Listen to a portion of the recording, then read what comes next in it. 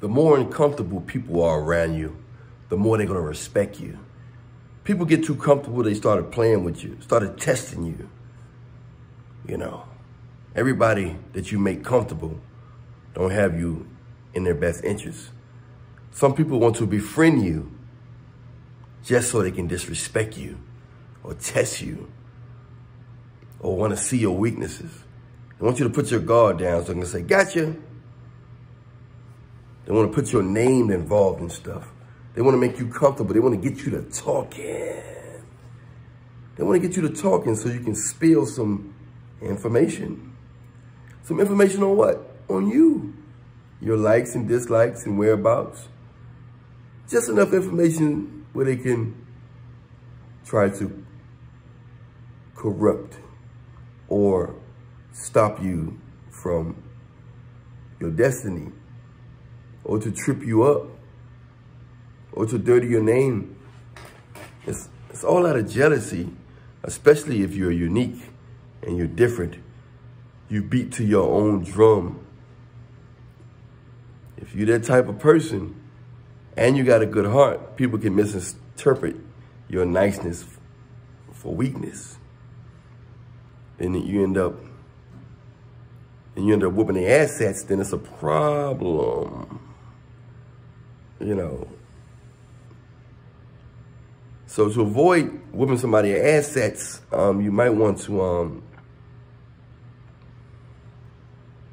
make people uncomfortable around you by not talking too much, not smiling too much, not looking at them, looking in their eye too much, not shaking their hand. Give them a shoulder a shoulder bump.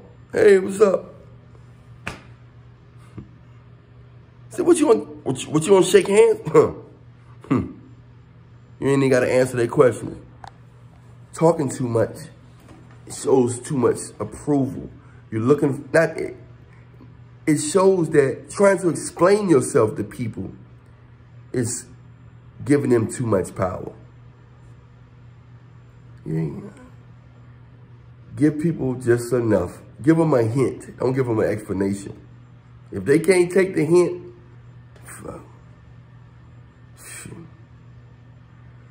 you make any, most people, male or female, you make them too uncomfortable. You make them too comfortable, then that's when the disrespect ride. You're too available for them. People, they, they don't appreciate your God power. They don't appreciate your unique blueprint that God gave you your own personal design, your energy, your vibe, your aura. They don't appreciate it if you're too available, too nice, too talkative, and too eager. Too eager. I'm Allan Reallionaire. If you want the book, message me on Instagram. Allan Reallionaire Show is the Instagram. The link is also in the description box. Like everything else is in the description box. All the information you need is in the description box. At the Instagram link, you can let me know if you want a consultation. You can let me know if you want the book. Yeah, the book. The Blueprint. Man's Guide to Conquering Controlling Heartless and Selfish Women in this 2023 modern day and age. If you want the book, message me on Instagram, $29.99. Along with the book, you'll get a bonus message from me on what's been working for guys for Reallionaire Nation that want a wife and a wife that they can get along with and a wife that ain't gonna talk their whole head in. You know what I'm saying? A wife that's gonna give them good loving and gonna have more appreciation in most cases. All right? Much love to you. Stay prayed up in Jesus' name. If you want the sacred statement, that's a $100 because they got too much weight. If you want the sacred statement, that's a 100 Message me on Instagram. The sacred statement is something that you tell a womb man and you're going to get maximum respect and results. Even if it don't go all the way the way you plan, you're still going to end up on top. How about that?